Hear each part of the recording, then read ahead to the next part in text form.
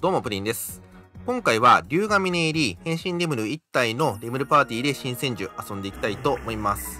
前半はパーティー紹介させていただいて、後半はプレイ中の様子を見ていただけたらと思いますので、よかったら最後まで動画の方をご覧いただければと思います。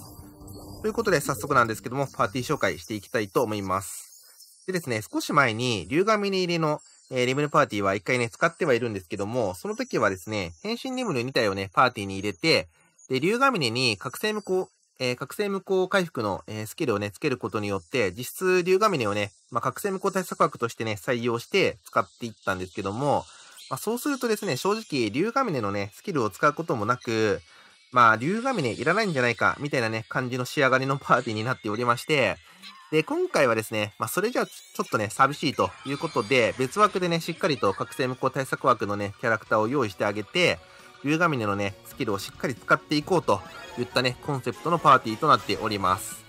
で、まあ一応ね、主役の竜ヶ峰のね、性能を確認しておきますと、彼はですね、37ターンの変身キャラとなっておりまして、変身時はリーダーと右のね、サブをリラチェンするということで、かなりね、特徴的なスキルを持っております。で、変身するとですね、スキルが4ターンで打てて、で、一旦の間、盤面が76、全員の攻撃力が2倍、ルーレット1個生成、6解除となっておりまして、えっ、ー、と、このね、リムルパーティーにないところをね、まあ全体的に補っていけるということで、非常にね、強いスキル持っております。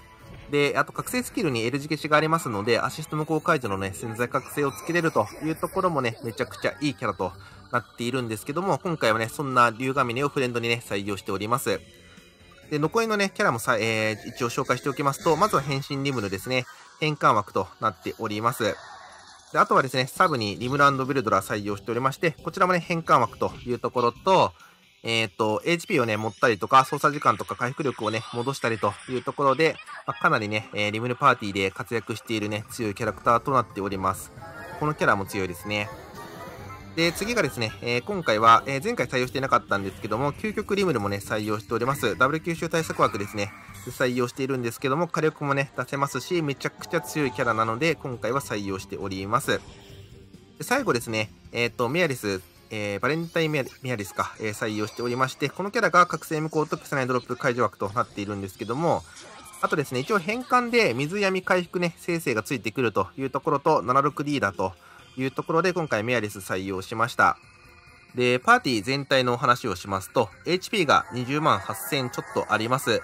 HP については20万6000かな、えー、以上あるといいと思いますね。回復力2万8000あります。回復かなりね、安心して、えー、回復していけるかなと思います。で、操作時間が基本13秒ですね。で、耐性面がですね、特に今回耐性0となっておりますので、はい、耐性捨てております。で、スケブが26個で、え泥系は一応各種ね、2個以上ずつあるといった感じのパーティーとなっております。はい。で、今回のパーティーなんですけども、変身レベル1体ということで、2体と比べてね、どうなのかという話なんですけども、まずですね、えっ、ー、と、竜ヶ峰が、えっ、ー、と、火力を出すのに水の3コンボを求めていきます。で、今回のパーティーの変換がですね、えっ、ー、と、リムル、変身リムルとリムランドビルドラということで、まあ、水ロップね、最大12個、まあ、毎ターンね、生成できるんですけども、そうするとですね、えー、正方形、ダメージ無効貫通を組むにはですね、9、3しか組めないということで、盤面に水ドロップをね、3個以上用意しとかなければ、しとおかなければいけないというところが一つね、ちょっとあります。あとはですね、もちろん変身リムルがね、えー、1体減る分、火力もね、ちょっと控えめになってしまいますので、まあ、その辺をね、どう補っていくのか、どう水ドロップを確保していくのかっていうところがね、まあ、ちょっと注目なのかなというところです。ただまあ一応ですね、えっ、と、メアリスが水ドロップね、3個生成できたりとか、あと、リュウガーミネがですね、ルーレット生成がありますので、そういったところでね、えー、水ドロップ、まあ、若干補っていったりもできるのかなというところがありますね。で火力についてはですね、一応火力計算しましたが、一応、竜ヶ峰のエンハンスとか、えー、使っていけばね、えー、しっかりと火力を出せるのかなと。まあ、場面場面でね、火力求められるところはエンハンスかけてやっていくというところがね、一つ大事なのかなと思っております。はい。ということでですね、パーティー紹介は、まあ、簡単ではあったんですけども、この辺で終わりにさせていただいて、ここからはですね、プレイ中の様子を見ていただけたらと思いますので、では続きもどうぞ。はい。で、これで削りに行ってあげると。L、あー、L はやばいか。あとはもうできるだけコンボ数伸ばして。だからまあ全体の落ち込みとか来ちゃうと、ちょっと怪しくなっちゃったりすんのかな。どんぐらい削れるかな ?3 分の1はいくのかな？このね、感じが、ほら、結構怪しいでしょ？そうなの。結構ね、怪しいのよ。うん。で、ここで一旦、竜画面使ってあげて、デバフ書き換えてあげてもいいのかもしれない。まあ、ここはもう殴りに行きますよ。えー、っと、水を分割してあげながらと。こんなんで。まあ、おそらく大丈夫でしょう。気をつけたいのが、これ、周りのやつが、またね、火に化けてくる可能性があるので、そこはね、ちょっと注意しつつ、OK。まあ、これはさすがに、取ったでしょう。まあ、水分割してあげて。はい。まあ、5分割もすればね、さすがにかなり火力が出てきますね。OK。いや、竜ヶ峰がさ、超コンボ強化もう1個ぐらい持ってたらね、もっと強かったんだけどなっていうのはありますよね。うーん、シンキュラが超コンボ強化プラスとかだったらめっちゃ強かったんだけど、ちょっとだけね、火力足んないんだよね。で、ここは、まあ1から、まあ1、1からはないか。2から3パンぐらいかな。倒せるかと思うんですけど、うーんと、水ドロップ足んなくなっちゃったな。まあちょっとここは一旦しのいでいきますかはいワンチャンさ攻撃通んないかなえー、っと、まあ、全然通りそうでないですね。まあまあまあまあまあしかも真ん中に水ドロップを残さなきゃいけないのにえー、残さずに来てしまった。えー、どうしようかな。とりあえずもう真ん中に水残しをちょっと優先して消していきましょ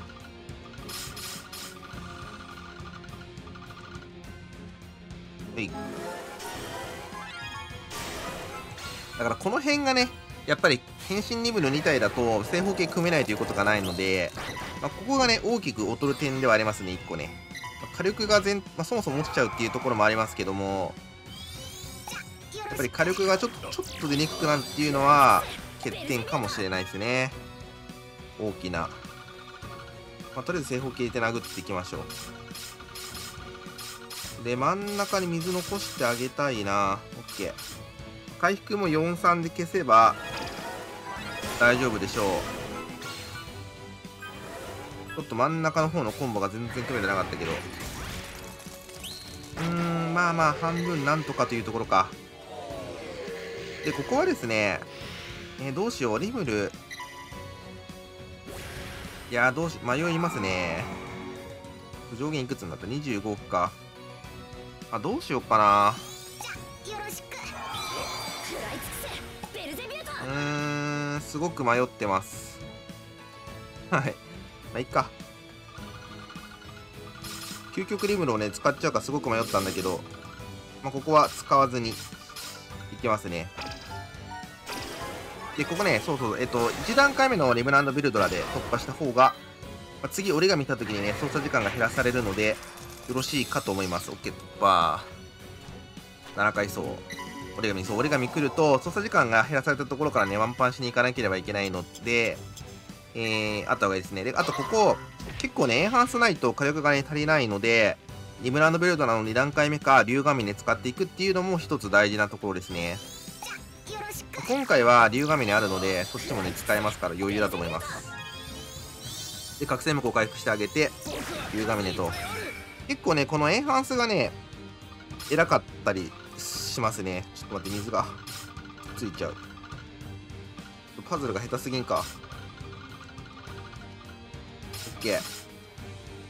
さすがにこれは余裕かな。意外にこのね、竜神のね、火力がやっぱね、ちょっと出にくいっていうのがあって、エンハンスがないと、ちょっと注意かなと思いますね。で、8階層。交互しですね。で、前の回数火力不安だったら、まあ、変身リムル使っ、変身じゃないか、究極リムル使っちゃうのもありなんですけど、で、やっぱここで使いたいからなっていうのはありますよね。まあ、ここでシールドね、軽く割った方が、まあ、タイム的には、タイムとかまあ楽ですからね。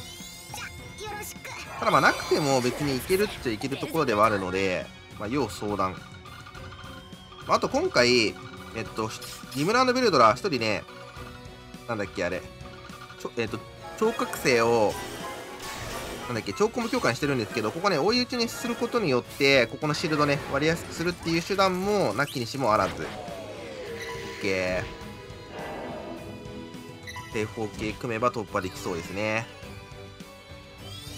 でもまあ、言うて強いし、まあ、エンハンスかけれたりっていうところは、龍ヶ峰のね、魅力だと思うので、まあ、ありっちゃありっすよね。使ってて面白いなとも思いますし、うん、すごく面白いパーティーだと思いますね。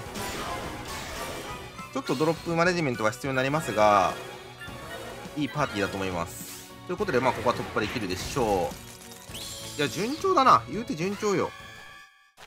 はい、ということで、ボス来ました。で、まあ、ここは正直気をつけるところはないので、まあ、どんどん倒していこうというとこですかね。はい。えーと、正方形はなくていいから平積みでいってみようかな。はい。平積みで。まあ、極力ね。あ、とかも左下組んでないや。極力、えーと、しっかり真ん中の方も消してあげて、水ドロップをね、呼び込んでいくと。いい、おいいね。スーパーでいけんのか、ここ。いや、いいっすね。コンボ現象はちょっと気をつけたいっすね。えーっと、ルーレットもあるが、操作時間たらここ伸びるターンだったので、ここもきっちりパズル決めていきましょう。えーっと、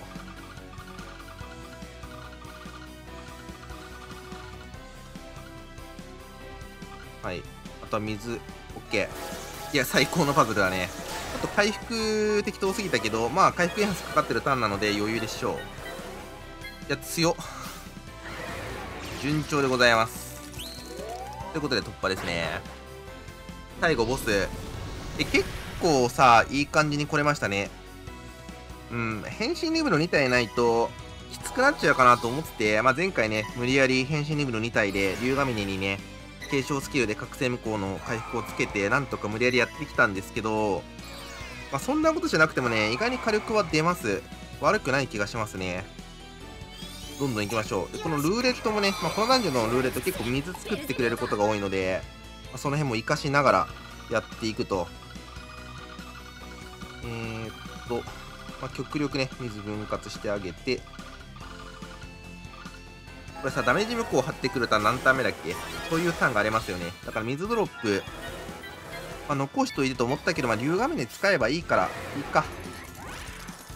火力もそれなりに。はい。暗闇目覚め。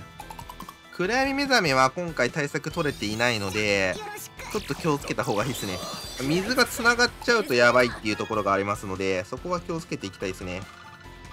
で、水がね、繋がるとね、あの、水3コンボ組めればいいんだけど、3コンボないと、コンボ加算がね、でなくなって、そもそもコンボ数足りなくなるっていうところもあるので、まあ、しっかり3分割していきたい。はい。いい感じです。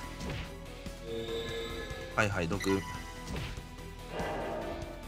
まあ、毒目覚めも正直そんな怖くはないんですが、しっかりとね、回復をつけして組んであげおくと安心かなと思いますね。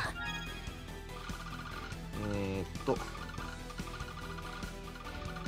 まあ、全然4つ消しなんて組んでないんだけど、回復ね。まあまあまあまあまあ。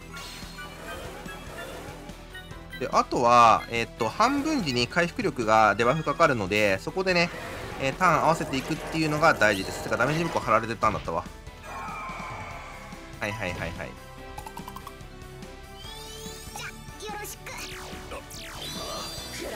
まあ、ただそのダメージ調整とかターン数の調整も、えっと、変身リムル使わないことによってね、ダメージ調整できますので、まあ、そこでいい感じにダメージ調整してもらえればと思いますね。おそらくこの次のターンで半分持っていくイメージですね。OK、いい削り。この辺はちょっと感覚的なところが出てくるので。でさ、そうそうそう、ちょっと言い忘れたんですけど、ウルトラマンコラボでさ、次に実装されるゾフィーがですね、結構このパーティーにふさわしいんじゃないかと思っていて、というのもですね、ゾフィーが覚醒無効回復枠なんですけど、まあもちろん76リーダーで、でしかもね、L 字消し持っていて、で、さらに、あの、回復エンエンハンスかけれるんですよ。いや、めっちゃ強くないと思って。だからね、ゾフィーが来たら、またちょっとこのパーティー更新されるのかなと思いますね。めちゃくちゃね、相性いい気がします。うん、めっちゃいいと思う。今回はメアですね、採用しているんですけど、ゾフィーの方が絶対いいですよね。操作時間が減る。まあ、操作時間はいいから、とりあえず回復、まあ、操作時間もね、結果的に飲ませるんですけど。えー、っと、で、なんだっけ？いいのか、普通に行けば。えーと、まあ、とりあえず水分割して、まあ、これで削っていきましょう。言うていいぞ。ゾフィーが来たら、マジでさらに強化されて使いやすくなると思う。回復エンハンスかけれるから、ここで。リムルのターンの調整がいらなくなるんですよね。それは強いですよね。えー、そしたらここはちょっとそろそろ、まあ、大きく削りに行きたいので、あどうしようかな。まあ、大きくってほどでもないんだけど、夕画面使っちゃって、で、えーと、削りに行きますか。まあ、エンハンスかかるんでね、これで。ちょっと削りやすくなるって感じです。で水3、えー、4分割で。で、このあと2パンぐらいでいけそうなので、次リムル使っ、あの、究極リムル使っちゃおうかなと思います。てかもう次で倒せそうだね。はい、ということで、今回はですね、えっ、ー、と、変身リムル1体の竜神ね、入りリムルパーティー使ってみました。えー、まあ、つ、あ、てか、まあね、水ロップねえじゃん。あ、大丈夫だ。作ればいいや。えっ、ー、と、まあ、火力不足と、まあ、ドロップのね、数の不足がちょっと気になるかなとは思っていたんですけども、まあ、思っていたよりは全然大丈夫で、結構ね、強かったなと、使いやすいなという印象はありますね、パーティーとして。うん、ただまあ、そもそも究極リムルが、まあ、パーティーに入っていて、リムル2体そもそも自陣にね、用意しなきゃいけないっていうところとかは変わりはないんですけども、まあ、それでもね、てかまあ、リラフで逆にもできるから、自陣リムル1体ってことも可能なのか。うん。そしたらそれはありっすね。ということで、今回はこんな感じで、えー、新戦獣クリアしていきました。初クリア、常設の方初クリアですね。はい。ということで、よかったらチャンネル登録、高評価の方もよろしくお願いいたします。それでは次の動画でお会いしましょう。バイバイ